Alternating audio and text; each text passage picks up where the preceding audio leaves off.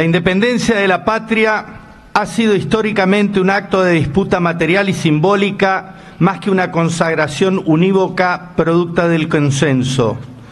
Disputa no solo respecto de la metrópoli colonial y los intereses imperiales que la sucedieron, sino también entre ideas y proyectos que se expresaron a través de los padres de la patria. La historia es un proceso teñido de matices y miradas, pero en definitiva expresa la genuina tensión entre intereses. El nacimiento de la patria estuvo signado por ellos y por quienes las encarnaron. Saavedra, Rivadavia y Alvear por una parte, Moreno, Monteagudo, San Martín, Güemes, Belgrano, Artigas y Castelli por otro. El primer grito de independencia fue el declamado por el Congreso de los Pueblos Libres en 1815, promovido por Artigas y con representantes de Entre Ríos, Santa Fe, Córdoba, Misiones Corrientes y la Banda Oriental.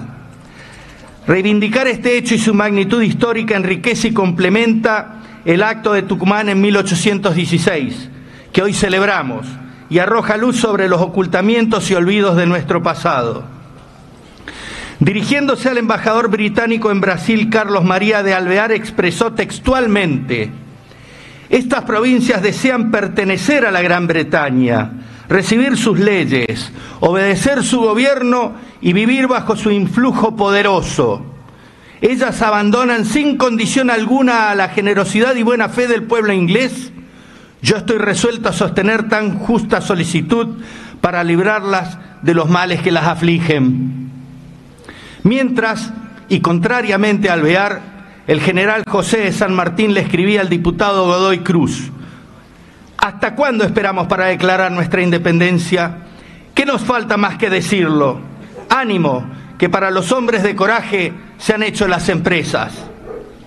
Si bien el acta de declaración de la independencia firmada el 9 de julio de 1816 afirmaba la voluntad unánime e indudable de estas provincias de romper los violentos vínculos que la ligaban a los reyes de España, a instancias del general San Martín se agregará días más tarde la fórmula definitiva que declara además la independencia de toda dominación extranjera. Con Rivadavia, primer presidente de los argentinos, se inicia el doloroso tránsito de dependencia con los acreedores externos mediante el endeudamiento. Las tensiones entre los intereses en disputa y su proyección al conjunto de la nación darán forma a la historia política de los 200 años de independencia argentina.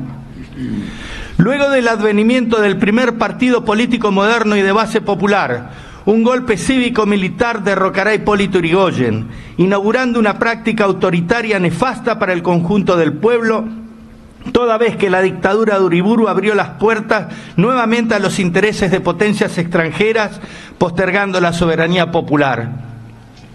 Será Juan Domingo Perón quien retome los ideales revolucionarios independentistas del nacimiento de la patria. El 9 de julio de 1947 en Tucumán, convoca al Congreso abierto que declara la independencia económica, justicia social, soberanía política e independencia económica serán las banderas que permitan interpretar el ideal de la independencia en pleno siglo XX. Su pensamiento sigue vigente y cada vez demuestra mayor actualidad. Su proclama, el año 2000 nos encontrará unidos o dominados, expresa en toda su dimensión su condición de estadista. Sucesivamente los intereses de las minorías concentradas y pudientes, a través de los golpes cívicos militares, derrocaron cada conquista del pueblo argentino. No obstante el silencio democrático de los fusiles desde 1983, esos poderosos intereses se muestran más vigentes y activos que nunca. Temprano en nuestra historia, Juan José Castelli, en su proclama los indios del virreinato del Perú, en febrero de 1981 advertía, vuestro virrey trata de alcanzar con la seducción y el engaño lo que no ha podido conseguir con la fuerza. Y os halláis tentados a creer esta falsedad, por esto es que para mantenernos en un engaño favorable a sus miras, os anuncian victorias, os lisonjean con esperanzas y entretienen vuestra curiosidad con noticias combinadas en los gabinetes de intriga. La mentira disfrazada y repetida hasta el hartazgo pretende imponerse a la realidad de los hechos. Argentina en los últimos cuatro años ostenta el récord de endeudamiento. Volvimos al sometimiento del Fondo Monetario Internacional. Hemos sido entregados en bandeja a los intereses foráneos en detrimento de las grandes mayorías que hoy sufren los embates de una crisis económica, social, similar o peor a la del inicio del milenio. Mientras, los voceros oficiales nos dicen por todos los medios que lo peor ya pasó. Vemos cómo los grandes medios de comunicación se han complotado con un sector del Poder Judicial para perjudicar a los representantes de los partidos opositores al gobierno nacional.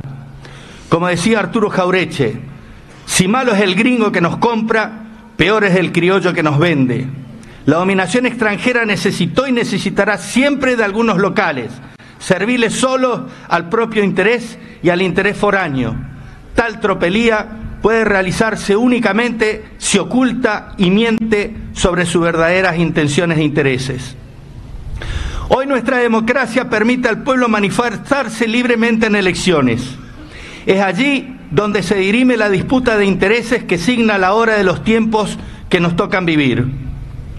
Nuestra provincia termina de expresarse contundentemente con más del 70% de los votos a favor del modelo formoseño conducido por el gobernador Insfram. No ha sido una elección disputada sobre banalidades.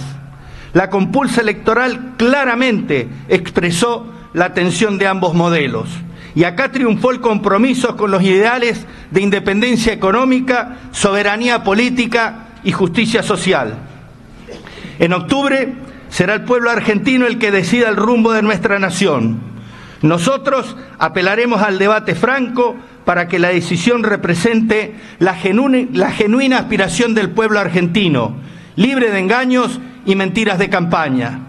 Como nunca la elección será entre profundizar el camino reciente de sometimiento a los intereses extranjeros y de un minúsculo grupo que detenta el poder económico o retomar la construcción de un país independiente, soberano y con justicia social. Muchas gracias.